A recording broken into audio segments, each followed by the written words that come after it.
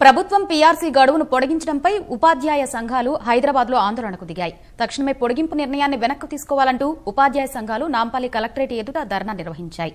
July రెండు వేల పద్దెనిమిది నుంచి అమలు చేయాల్సిన వేతన సవరణ గడువును ఏడాది డిసెంబర్ వరకు కొనసాగించడం సమంజసం కాదని పేర్కొన్నారు. ప్రభుత్వం తీసుకున్న ఈ నిర్ణయం ఉద్యోగ ఉపాధ్యాయ పెన్షనర్ల పొట్టకొట్టే విధంగా ఉందని ఐకాస నాయకులు ఆరోపించారు.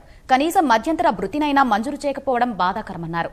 రాష్ట్రంలో అందరి బతుకులు బంగారం అవుతాయని చెప్పిన ముఖ్యమంత్రి కేసీఆర్ ప్రభుత్వ ఉద్యోగుల పట్ల సవతి ప్రేమ చూపుతున్నారని విమర్శించారు. నిర్ణయాన్ని వెనక్కి తీసుకోవాలని డిమాండ్ చేశారు.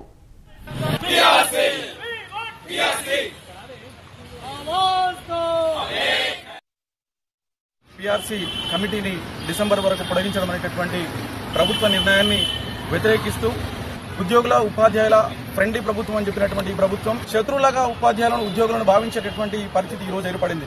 రావాల్సినటువంటి పీఆర్సీని కూడా ఈ రోజు ప్రభుత్వం అనేటటువంటిది ప్రకటించకుండా ఈ యొక్క వాయిదా వేయడం అనేటటువంటి చాలా దురదృష్టకరమైనటువంటి సీఎం క్యాంప్ ఆఫీస్ నుంచి వచ్చిన ఒక లెటర్ ప్రకారం ట్వెల్వ్ డేస్లో పీఆర్సీ కమిషన్ రిపోర్ట్ ఇవ్వాలని పేపర్లో కూడా వచ్చింది.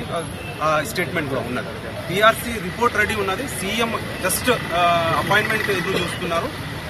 సీఎం అపాయింట్మెంట్ ఇచ్చిన ఇమీడియట్ రిపోర్ట్ సబ్మిట్ అయిపోతుంది అన్నారు కమిషన్ రిపోర్ట్ రెడీ ఉన్నాక మళ్ళీ పీరియడ్ ఎక్స్టెన్షన్ ఏంటని ఎవరికి అర్థం కావాలి